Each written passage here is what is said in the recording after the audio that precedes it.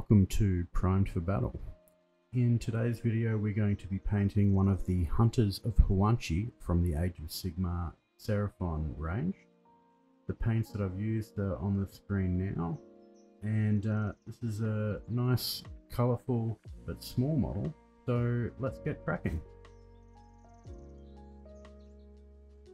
Start with a Wraithbone Prime and then to Blood Angel's red contrast over the entirety of the body.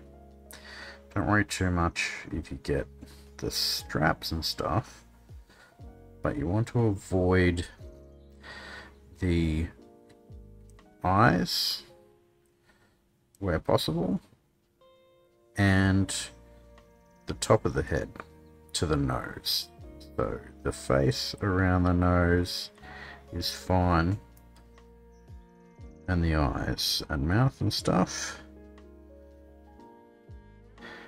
But the rest we're going to be coming back and doing some other colours on. So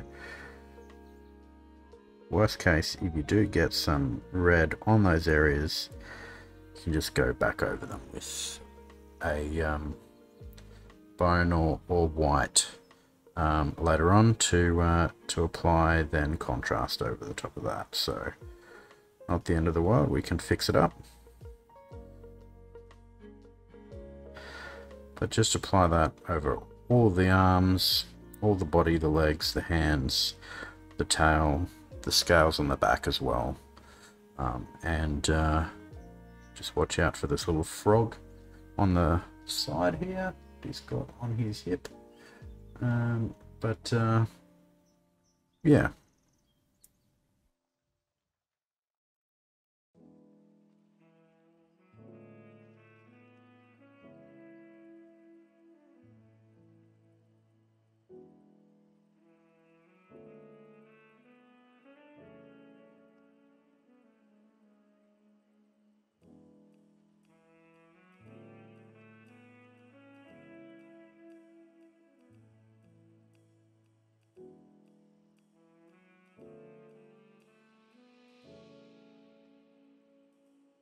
Next step, we're going to use some Kroxigor scales. We're just going to apply it to the recess of the head. On top, the, the recess of the crest, I guess. Don't be too afraid to put a bit of contrast on there. Don't want massive pool of it, but doesn't matter too much if it gets a little bit.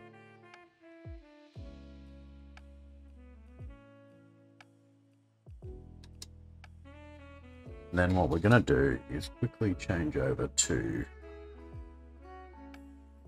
Karandras Green and then apply that around the very edge of the ridge uh, chameleon skink um, on the edge of his head.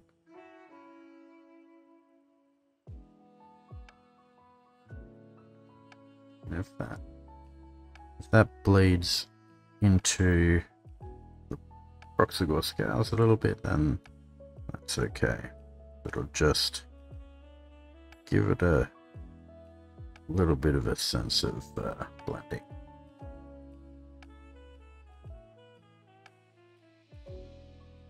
Take that around like so, around the top of the eyes, the nose.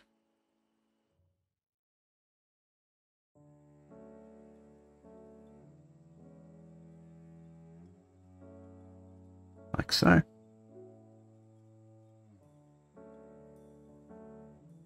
Just around the back of the head.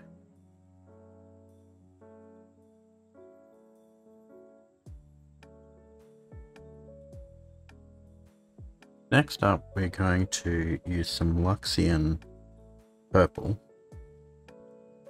And we're just going to apply that over the entirety of the eye.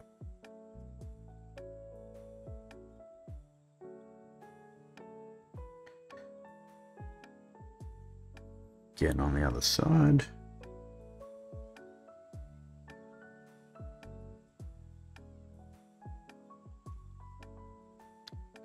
Alright, and then what we're going to do is all of the areas that would be gold. So this would be the chest plate here. Uh, do the pipe. Uh, and on this one, darts just here above the frog and his wristband and ankle band. And that looks to be about it on this one. Just going to do those with wood as a base for our metallic paints. I like to use browns as a base. Just find the gold comes out nicely over the top of the brown. Gives it sort of a, a little bit more of an earthy sort of tone, I think. So go through, apply that to all those gold areas, and then we will also do the tree branch that he's standing on uh, in Wyldwood as well.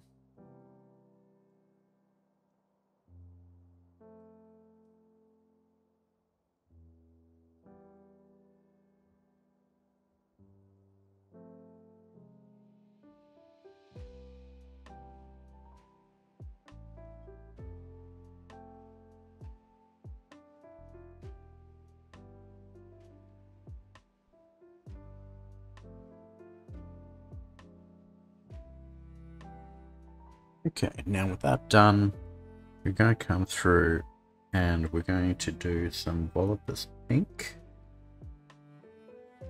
I'm going to apply that just over the scales on the back, directly over the red.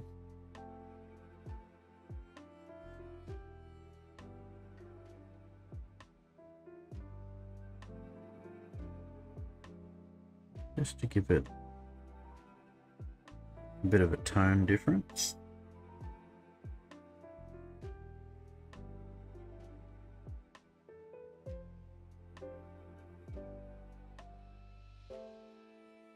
And then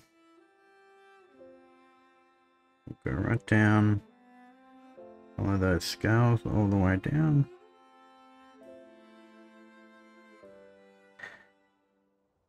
And then what we're going to do is we'll do some plague bearer flip. Going to apply that over this poison toad back here. Start with do that fairly liberally to pull a bit. Plague bearer flesh is a fairly mild contrast. So we're going to let that pull a little bit. Just to sort of really get into those details.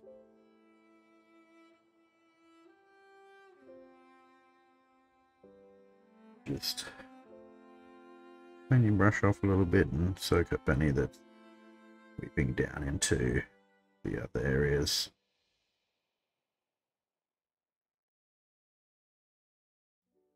Leave that like that for now. Now we're going to come through with Gut Ripper Flesh. And we're going to apply that over all of the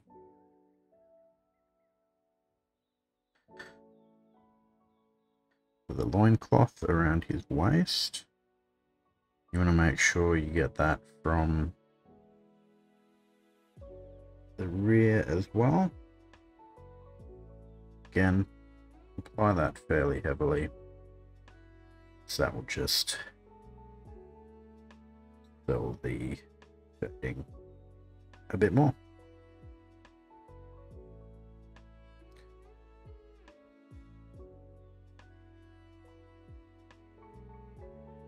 And then come through with trusty old Gore Grunter fur to do the wraps ropes.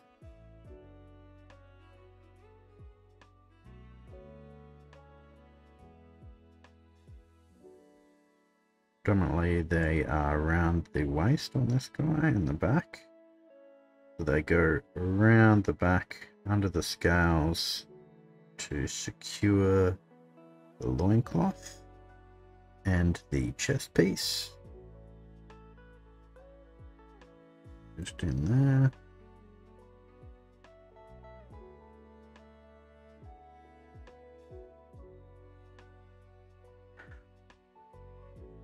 Red a little bit there.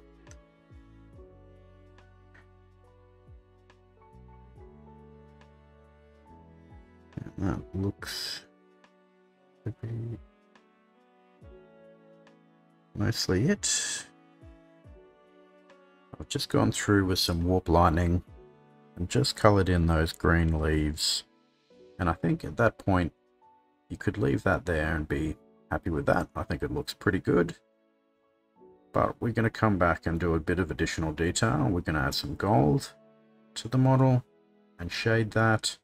Uh, we'll probably do a little bit extra with the frog and the loincloth. Uh, and we're also going to add some stripes uh, to the back. Just to give it a little bit of extra pizzazz. So to get ready for the stripes, we're going to use a little bit of white.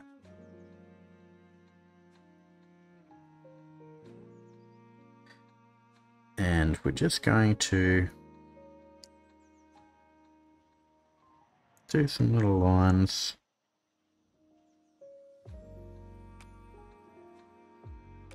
They don't have to be too neat. Great thing about Seraphon, I find, is that because they're dinosaurs and they're living creatures, their uh, skin doesn't have to be perfect. A lot of their features don't have to be super neat. Just makes it nice and easy. Takes a little bit the pressure off, I find. Whereas uh, some other models, depending armor and things like that, there's a level of neatness that's sort of expected, but you would sort of expect to see in life. But this way we can sort of do a little bit more what we want, have a bit of fun with it. On this step, we're going to do the gold details. This I'm using Balthasar gold. What we want to do is just get the chest plate, guard, hit the main area of that. Doesn't matter too much if you leave a bit of brown in the recess, which is part of the reason why I love using brown as a base. That uh, there's a bit of a natural looking shade, shadow effect the recesses of the gold. And uh, means you don't have to be as neat with it. I like things that make just a little bit easier. Take a little bit of the pressure off. Painting's meant to be fun. And enjoyable. And relaxing. It is for me anyway. So that's what I sort of think about when I uh, decide on things. So just going to come through some of these bits on the pot and just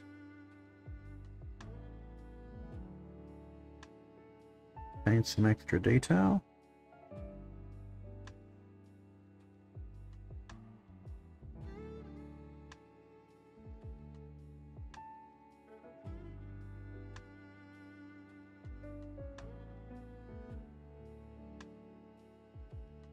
And then there's a little charm on his waist here that we missed before.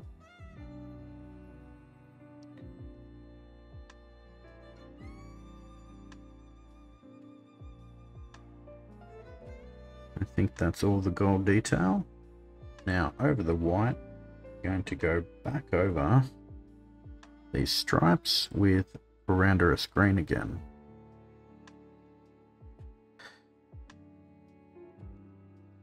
the red below it and around it. It really stands out.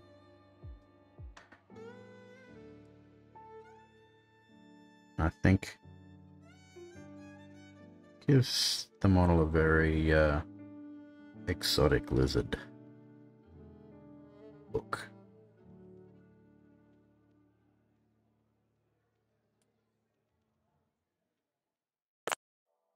What I've decided I'm going to do with the toad here. I'm going to use some Carroburg Crimson.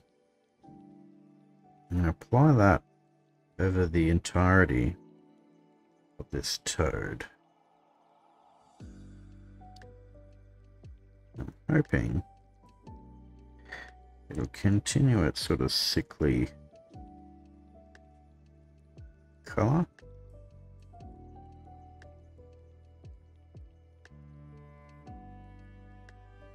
And That's sort of a pale,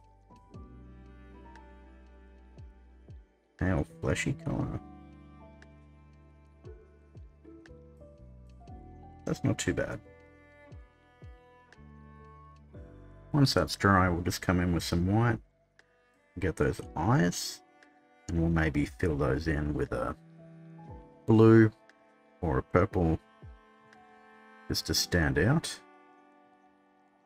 And now to finish off those gold details, it's going to come through with some Agrax Earthshade. Could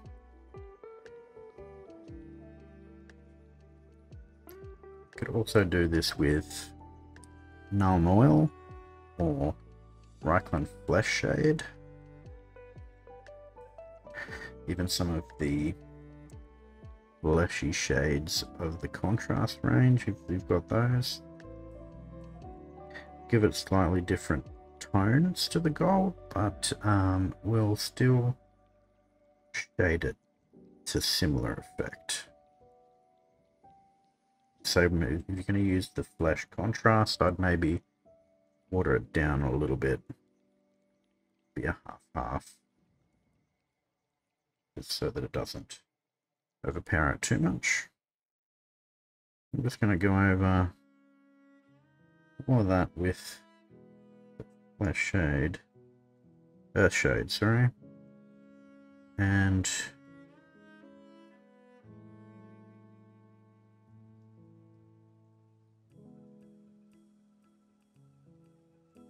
do the straps and ropes and what as well. And I'm going to go over the cloth. Well, this gives it a bit of a dirtier sort of look.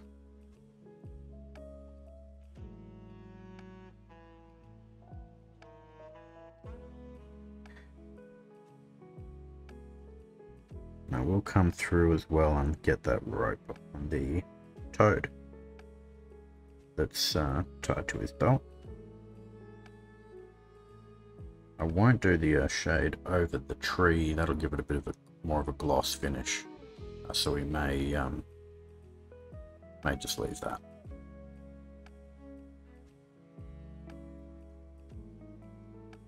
And again, I think at this point you could probably leave that again. I think overall it's looks pretty good but there's a few more details that I'm just going to do just to sort of really make the model pop. So I've put three paints onto my palette. I've got Wild Rider Red, got Troll Slayer Orange, and Lugganath Orange. To do, just use this, starting with the Wild, Wild Rider Red. Just going to go through and highlight few key areas. So, Let's start with the Wild Rider Red. And just roughly get all of the raised areas.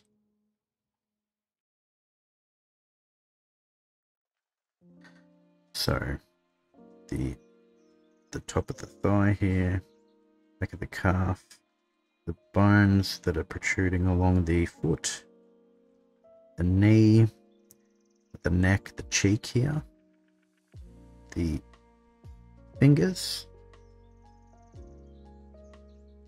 biceps and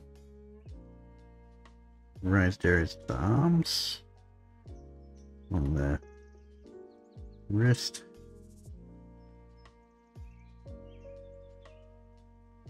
And you can see I'm just being fairly rough with it, I guess.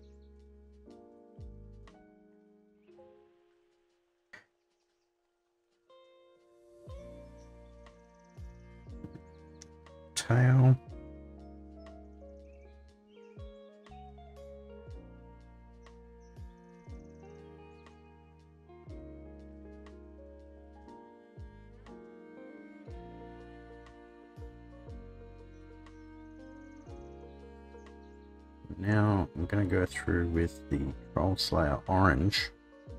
This time, just picking out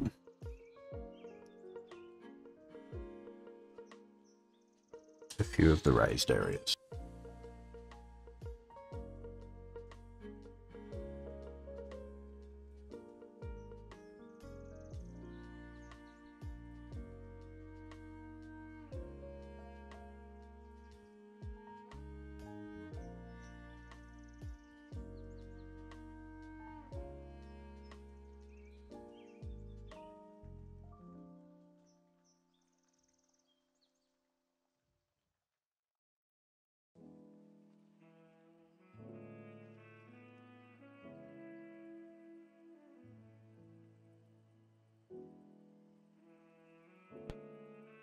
It's getting the edge of the tail. The very raised areas of the bone, the elbow. Sort of working your way inwards. Doing smaller and smaller areas.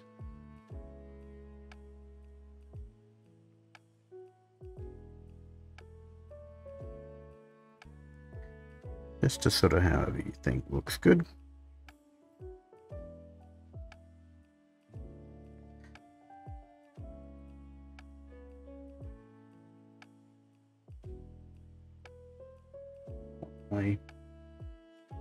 just some very small areas with the Lugganath orange. Put it down a bit.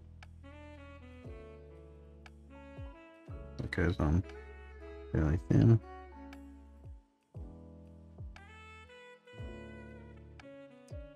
A bit too much. Wash my brush off a bit there. Wipe that away a bit. Lugganath is quite strong, so you want to use it fairly sparingly and dense instance.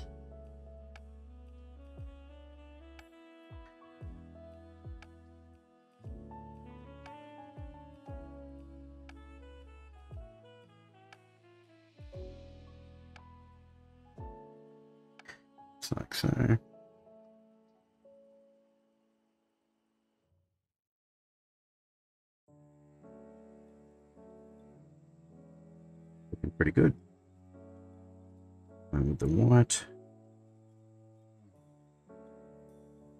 Just getting the eye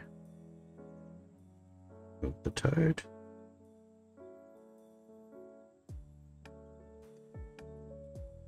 Get that.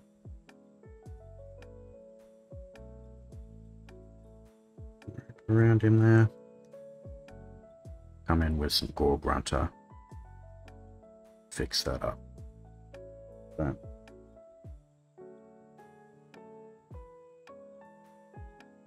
Grunter for the right.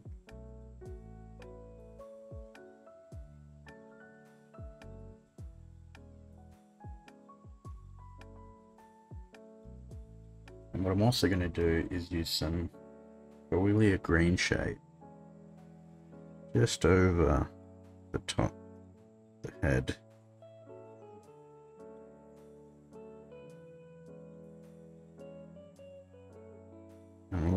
Over the eyes is fine.